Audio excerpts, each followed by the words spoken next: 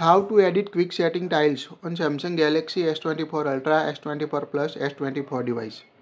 Swipe down the notification panel twice at the top. Tap on the pencil icon. Here you can see top and pull option. Tap on edit. Here we see tap on edit. Now here you can add maximum 6 buttons.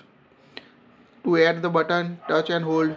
To add a button to quick style. To remove, tap on a minus icon. Here we select minus icon. Now you can see remove the button. Now touch and hold to move the option. Here we select text screenshot. Touch and hold. Now you can see add the screenshot to the quick setting tiles.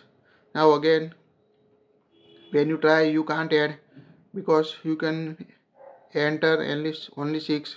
Double tap. Now you can see can't add more than six button so it's quite easy. Tap on a done. When complete. Now in full notification panel tap on edit.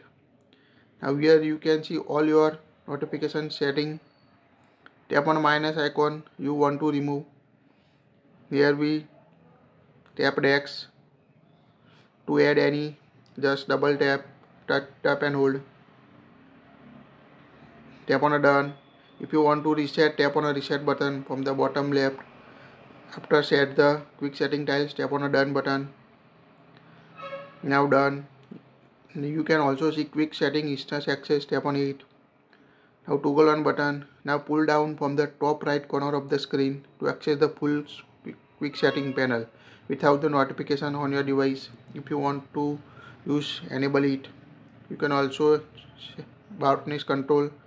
So always so when quick panel expand means when you swipe down notification you can see if you set so always pull down the notification you get the at the top the this is the difference between so always and so when quick panel explain.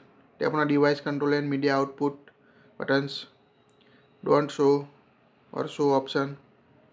It's quite easy to customize quick edit panel. That's it. If you like it share it